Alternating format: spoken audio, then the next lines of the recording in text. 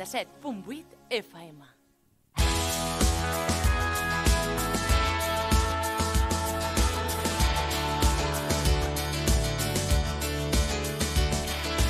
Seguim aquí, a la sintonia d'Amposta Ràdio, la 87.8 de la freqüència modulada. És moment ara d'aquests espais polítics que l'emissora municipal cedeix als diferents partits amb representació a l'Ajuntament de la nostra ciutat. Avui és el torn de Junts eh, per Amposta amb Manel Macià. Bueno, bon dia a tothom. Eh, això és Junts per Amposta. Eh, jo sóc Manel Macià, el seu portaveu. I jo i el meu equip eh, us hem preparat un programa de ràdio que esperem que us obri una mica els ulls que es posi claror dins de la foscor de la gestió de l'Ajuntament, com sempre tot des de la nostra perspectiva, està clar, i amb l'opacitat existent i amb la poca informació que rebem o que tenim i que sempre denunciem. Avui us parlaré doncs, una mica un resum de les ordenances fiscals, bueno, de les al·legacions que hi han posat, l'al·legació en concret, eh, del pròxim ple, les mocions que volem presentar, eh, de, la preparació de pressupostos i dels números de l'Ajuntament, del reglament de mitjans de comunicació i, clar, avui també és dijous 11 de novembre, eh, les tardes s'acursen, comença a fer fred i eh, és temps de fires. bueno, no, aquest any no és temps de fires, eh, perquè s'han anul·lat i això ja ho sabeu. Eh, I en parlarem, en parlarem més tard.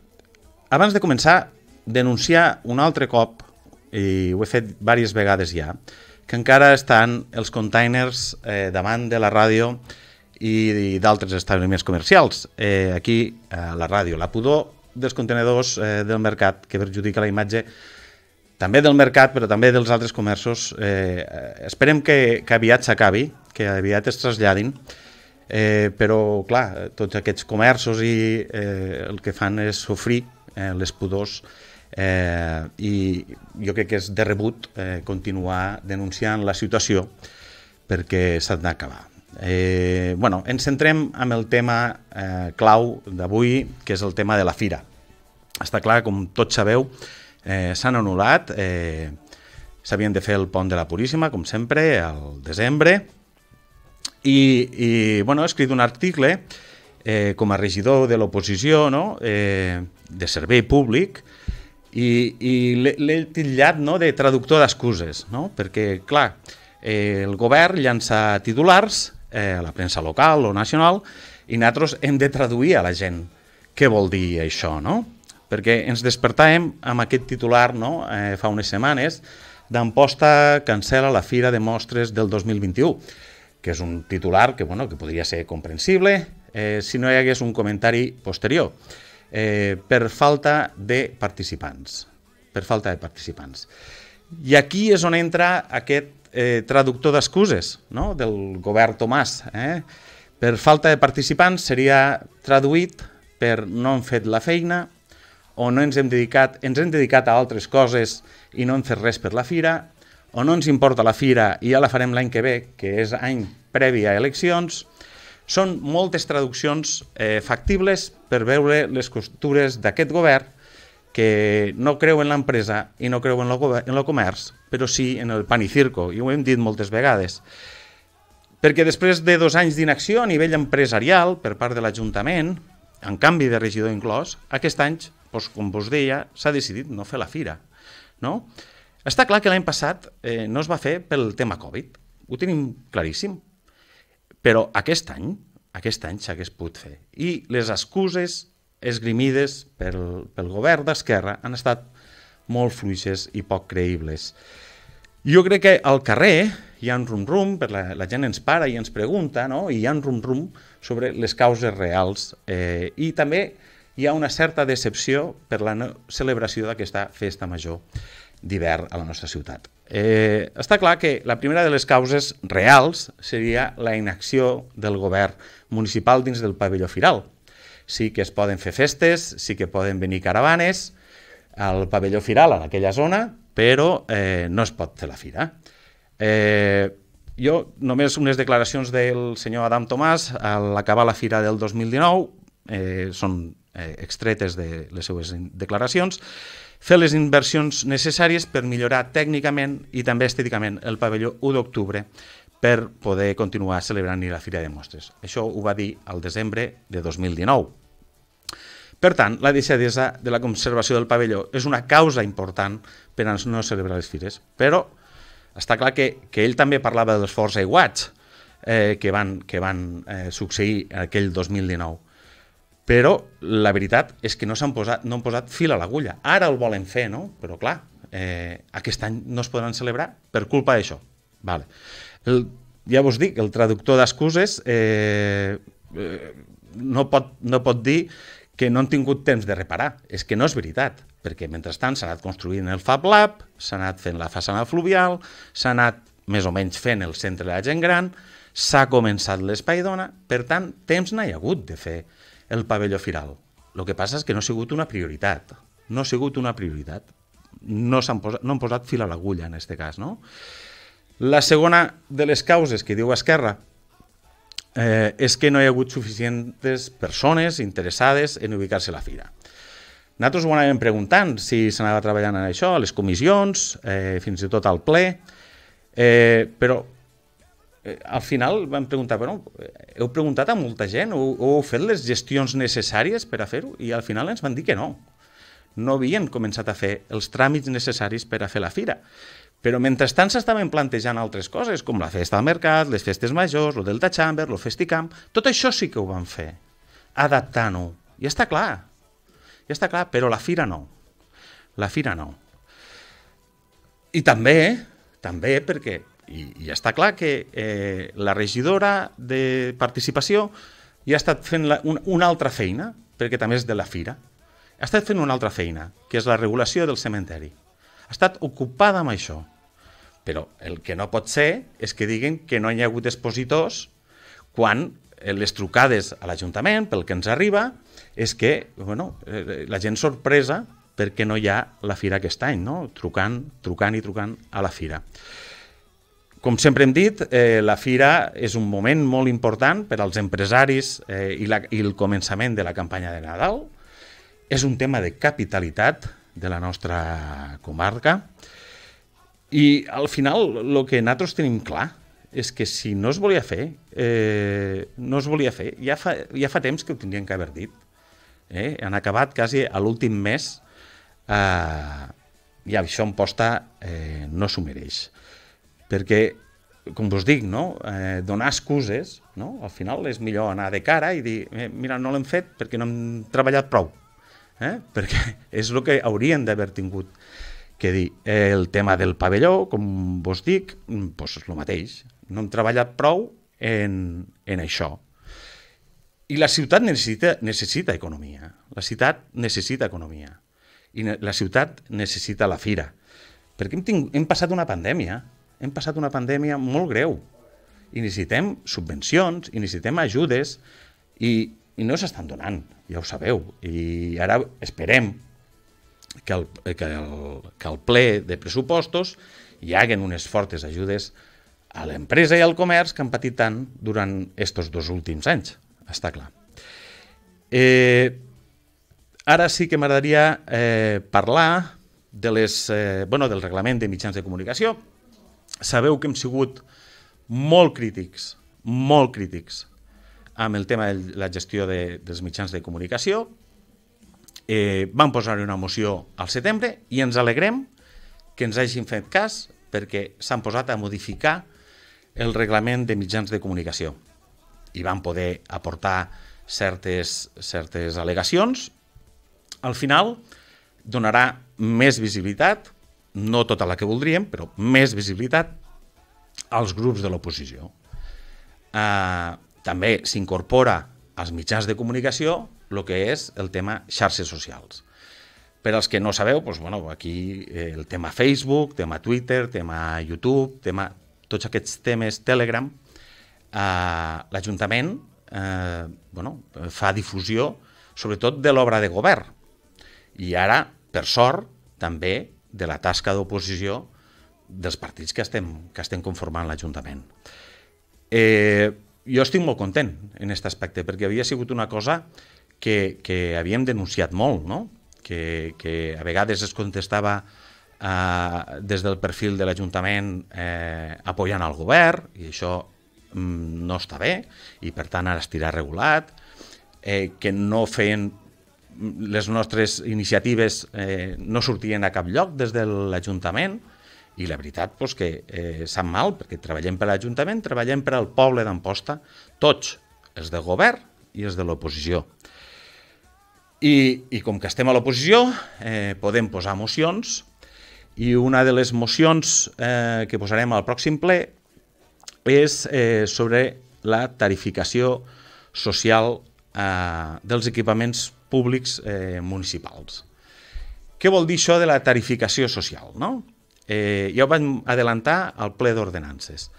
Bueno, és eh, bueno, mirar la manera, mirar la manera eh, creativa de, de bueno, tarificar d'una altra manera els serveis públics que dona des de l'Ajuntament. Com es fa això? Bueno, es fa mirant la renta. Hi ha altres poblacions que ja s'ha començat a, a posar, per exemple, en la llar d'infants. No és el mateix, no és el mateix una família que els dos estan bé i poden, poden guanyar, posem el cas, eh, 3.000, 4.000 euros, els dos conjunt, eh, conjuntament, i que hagin de pagar 300 euros per una, eh, per una llar d'infants, no? per una plaça a la llar d'infants. No és el mateix que aquelles persones que, doncs, malauradament, poden arribar a cobrar tots dos a 1.200 euros. Una família que reben 1.200 euros al mes. 300 euros eh, per a 1.200 significa que no poden accedir a la llar d'infants. Igual és necessària perquè tenen que anar a treballar. Per tant, creiem que s'ha de tarificar socialment. És, és molt fàcil d'entendre, no? Qui més, qui més té, més paga. Tot, tot ajustat a una normalitat i, i sempre des del servei públic, no? Però crec que és una bona mesura d'esquerres, la veritat, que poguéssim revisar tots els punts, de tots els punts de vista el, el que són la tarificació dels equipaments municipals. Això podria ser també aplicat a la piscina, també aplicat a l'escola eh, de disseny. Bueno, tot això al final fa que, que la gent pugui accedir, la gent amb pocs recursos, pugui accedir a, certes, a certs eh, estaments que potser no podrien, no podrien accedir. I tornem al, al guió. Eh, I l'altra moció, eh, i l'estem preparant, eh, és el tema bueno, del recentment eh, desaparegut eh, Josep Niebla. Eh, Josep Niebla va ser un, un artista que ara estava fincat a, a Girona, però que durant els anys 70 eh, va ser un dinamitzador cultural, eh, del tardofranquisme, no? Eh, va crear el llar i, i bueno, va, va, va estar vivint aquí eh, i, eh, bueno, i té dos, eh, dos grans infraestructures, o va crear dos, dos grans obres aquí a, a Amposta, i ens agradaria, no sé, eh, donarem idees eh, sobre si crear per a l'any que ve un any niebla amb exposicions que puguen arribar aquí a Amposta, eh, que la, bueno, que la, la rotonda de la C12 es passi dir Josep Niebla, eh, juntament amb, amb, bueno, això, amb el departament amb el Departament de Territori, però crec que seria factible que li posessin el nom de Josep Niebla, ja que hi ha una escultura allí d'ells. Eh, bueno, jo, crec que, jo crec que és una bona iniciativa eh, cultural i que ens fa molta il·lusió eh, de, de poder-ho presentar al pròxim ple. Eh, com ja sabeu, i ara torno a canviar de tema, eh, el tema d'ordenances, el ple anterior hi va ser el, el ple d'ordenances, que és aquell on se fixen els, eh, els preus, no? va haver una congelació d'impostos, ja ho vam dir, després de dos grans pujades, eh, on mm, no hi ha hagut massa canvi sobre la recaptació, o sigui, es recaptaran encara aquest quasi un milió d'euros eh, de més que recaptaven el, el 2019. No? Llavors, eh, l'al·legació que hem fet eh, és perquè jo crec que si fas una modificació d'una ordenança, t'has de creure que vols fer aquella, que la gent se'n pugui aprofitar, no? que les empreses, en aquest cas, se'n puguen aprofitar. Perquè es va fer una modificació de l'ordenança número 14, que és la de la taxa de la recollida d'escombraries, i allí es va dir que es bonificaria a les empreses que reciclàvem amb un agent exterior. Perfecte, perfecte, ens agradava. Nosaltres ho havíem presentat feia un any, això. I ara ens van agafar aquesta idea, que ens sembla perfecte perquè és treballar per al poble i per les empreses, i van dir, l'aplicarem. Vale. En, en, quina, en quina raó? Bueno, pues que el dia 28 de febrer eh, haureu de presentar les factures de tot l'any d'aquest servei.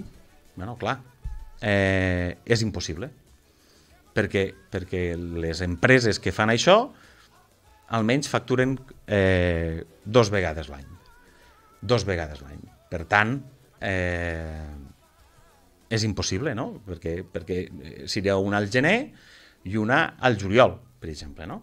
I llavors la nostra, la nostra al·legació eh, va sobre això, no? Sobre ampliar el termini per a que les empreses se puguen acollir, per a que més empreses puguen estar dins eh, dins d'aquesta bonificació, no?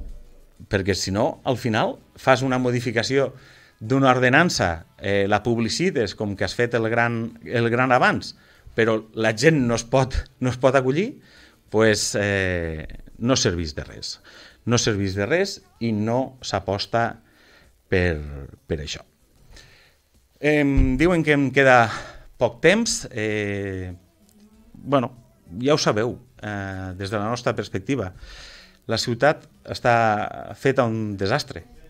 Eh, no s'acaben les hores, s'allarguen eternament. Eh, L'enllumenat que va prometre el 2019, ahir l'alcalde feia una publicació que estava supercontent. Encara no hem acabat la cinquena, la cinquena fase. Eh, L'espai de les mestresses de casa, que va des, pels pressupostos des del 2018 eh, s'acaba de començar, s'està treballant. Eh, el casal de la gent gran està allí parat, parat. El sindicat no té llum, no té llum legalment encara. Fa tres mesos que ens diuen que se'ls estan posant la llum. Fa tres mesos, s'estan allargant, no hi ha, no hi ha ningú al mando, quasi. No? I, I això es perjudica perquè has fet una inversió de 1,6 milions d'euros bueno, vosaltres mateix eh, heu de jutjar. Ara ja em vaig despedint. Eh, abans eh, de començar el meu programa he escoltat que es fa el gran recapte. Eh, jo sóc un gran defensor del gran recapte, m'agradaria que tots participéssiu. I des d'aquí, des, de, des de Ràdio Amposta, em despedeixo eh, per, per poder seguir la meva feina com a regidor. El que sí que, el que, sí que m'agradaria és que si teniu algun dubte, alguna pregunta, ens adrecéssiu a, a Junts per Amposta, nosaltres eh, amablement us, us respondrem, perquè és la nostra feina, com ja us he dit, he començat el, el programa dient que a vegades fem de traductor d'excuses, de, no?, del que diu el govern, i nosaltres us ho explicarem com veiem eh, des del nostre punt de vista l'acció de govern, que en molts casos, i sobretot en el tema econòmic, és nefasta. I res més, eh, bon dia a tothom i adeu.